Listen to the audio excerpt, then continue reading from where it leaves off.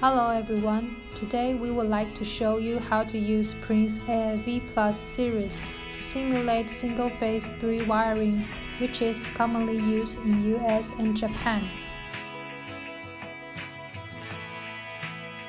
There are a variety of electric power systems in the world, for instance, single-phase or three-phase, for white goods like washing machine, refrigerator, or coffee machine are single-phase input and like for industrial or medical equipment belongs to three-phase input.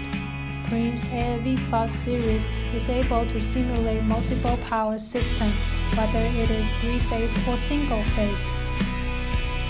AFV Plus series can simulate single-phase three-wire system, which can generate twice the voltage of single-phase two-wire system, and it can be used for higher power appliance, for example, home air conditioner, cooking equipment. With AFV Plus series phase angle adjustment function and adjust the angle from balanced 120 degree to unbalanced 180 degree. Then connect two wire line to line, which allow user to test high power single phase load. Under the AFV Plus three-phase output units, split phase and phase angle adjustment function, the units can provide two times of rated current at 0 to 300 voltage.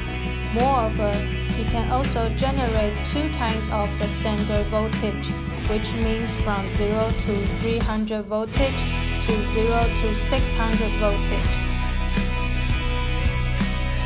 Using three-phase model of the AFV Plus series, you can realize real-world power system in a single unit and further saves the cost and footprint.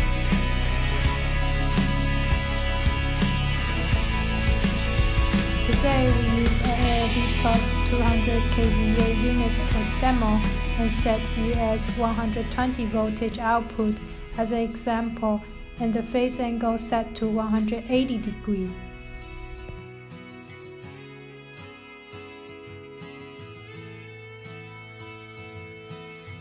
From the power analyzer, we notice that the phase angle becomes 180 degrees.